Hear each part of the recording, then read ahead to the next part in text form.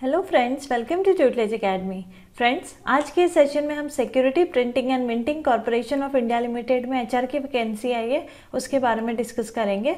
तो security printing and minting corporation of India limited schedule A mini Ratna category PSU है, ठीक है? इसका जो हेड ऑफ़िस है, वो न्यू दिल्ली में ही है और इसमें management research and development human resource and legal पे असिस्टेंट मैनेजर की वैकेंसी आई है, ठीक है? मटेरियल मैनेजमेंट तो चलिए, इसकी एलिजिबिलिटी फिर पैटर्न क्या रहेगा एग्ज़ाम पैटर्न क्या रहेगा अप्लाई कैसे करना है, आपको सबके बारे में हम डिस्कस करेंगे। तो देखिए असिस्टेंट मैनेजर मटेरियल मैनेजमेंट में निकली हुई है पोस्ट है मैक्सिमम एज थर्टी ईयर्स है, ठीक है? Assistant manager R N D assistant manager H R जिसकी तीन वैकेंसीज है and that is for under reserve unreserve candidate thirty years ठीक है? असिस्टेंट मैनेजर लीगल की भी वैकेंसी आई है, दो पोस्ट है थर्टी ईयर्स इसकी मैक्सिमम एज है।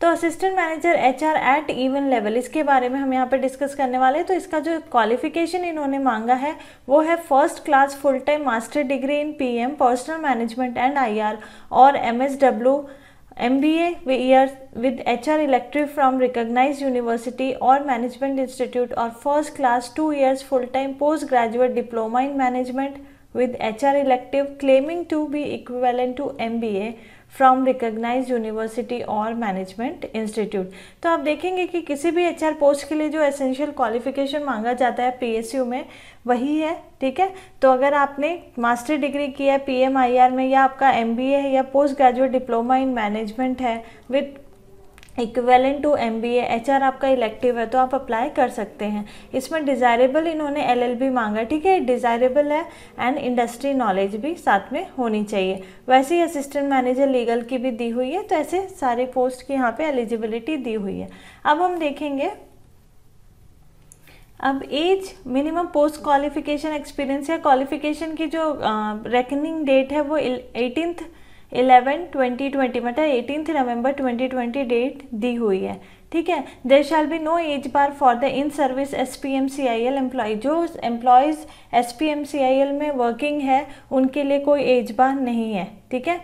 No relaxation in upper age limit is admissible to S C S T O B C candidates applying for U R vacancies तो अगर S C S T O B C candidates इस vacancy के against में apply करते तो कोई age relaxation नहीं मिलेगा, क्योंकि ये जो सीट है वो अनरिजर्व कैंडिडेट्स के लिए राइट एग्जामिनेशन फ़ी की बात कर लेते हैं तो 600 एग्जामिनेशन फ़ी है right for general E W C E W S and O B C candidate और 200 जो है वो S C S T P W D categories के लिए हैं, ठीक है? अब सिलेक्शन प्रोसीजर में इन्होंने रिटर्न एग्ज़ाम इनको करना है इंटरव्यू लेंगे रिटर्न एग्ज़ाम जो है उसका 75 परसेंट वेटेज है इंटरव्यू का 25 परसेंट वेटेज है।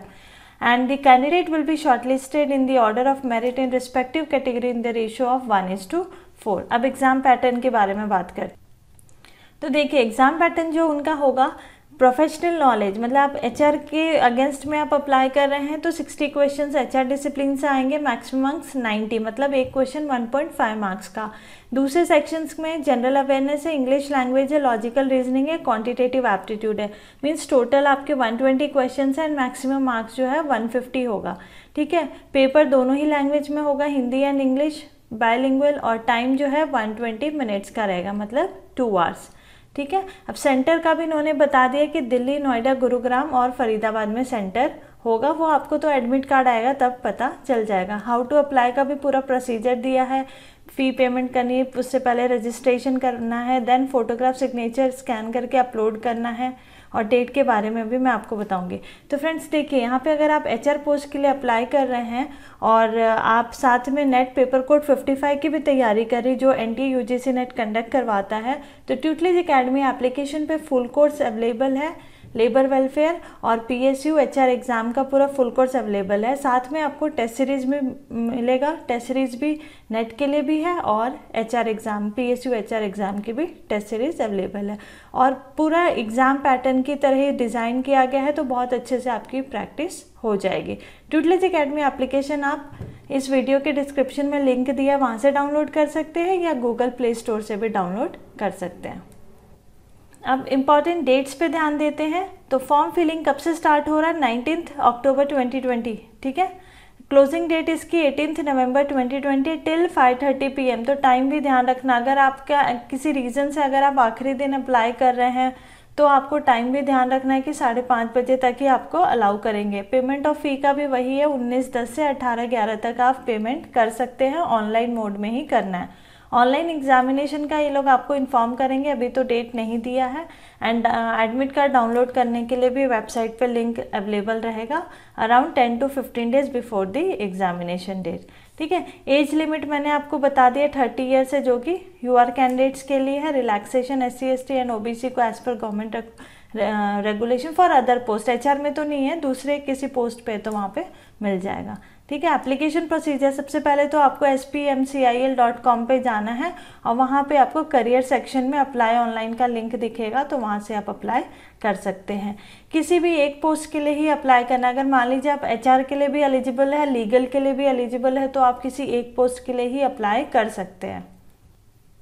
देखिए, अब जनरल कंडीशन में जब पढ़ेंगे तो वहाँ पे सेकंड पॉइंट में दिया है कैंडिडेट्स में apply for only one post ठीक है? तो एलिजिबिलिटी आपकी चाहे किसी भी दो पोस्ट के लिए हो, तीन पोस्ट के लिए बट आप किसी एक पोस्ट के लिए जो आपको लगता है कि आप सुटेबल हैं, आप अप्लाई कर दीजिए। और एच के लिए मैं कहना चाहती हूँ कि तीन पोस्ट कम नहीं होता है क्योंकि एच में आप देखेंगे किसी भी पीएसयू में इतनी ज़्यादा वैकेंसीज नहीं आती। तीन, चार, पाँच छः इसमें तो बहुत कम होता है कि बल्क में वैकेंसी आ जाए। तो तीन पोस्ट कम नहीं है, आपको तो एक सीट लेनी है। इसलिए आप प्रिपरेशन अच्छे से कीजिए फॉर्म अच्छे से फिल कीजिए और फॉर्म भरने से पहले आपको पूरा एडवर्टाइजमेंट अच्छे से पढ़ना है और अपनी एलिजिबिलिटी आपको चेक करनी है। ठीक है? क्योंकि फ़ी जो आप पे करेंगे वो नॉन रिफंडेबल है। तो वो फ़ी आपका वेस्ट ना जाए, उसके लिए पहले आपकी एलिजिबिलिटी आपको अपनी चेक करनी है। ठीक है? और फिर ट्यूटलेज अकेडमी एप्लीकेशन आप डाउनलोड कर लीजिए। वहाँ पे कोर्स पे विज़िट करिए। बहुत ही नॉमिनल रेट में आप अपनी प्रिपरेशन स्टार्ट करते हैं, कर सकते हैं पीएसयू एग्ज़ाम के लिए और टेस्ट सीरीज़ भी टेस्ट सीरीज़ से प्रैक्टिस कर सकते हैं। ठीक है? वीडियो पसंद आया हो तो लाइक करें, अपने फ्रेंड्स के बीच में शेयर करें और कोई भी क्वेरी हो तो कमेंट करके पूछ सकते हैं। Thank you for watching this video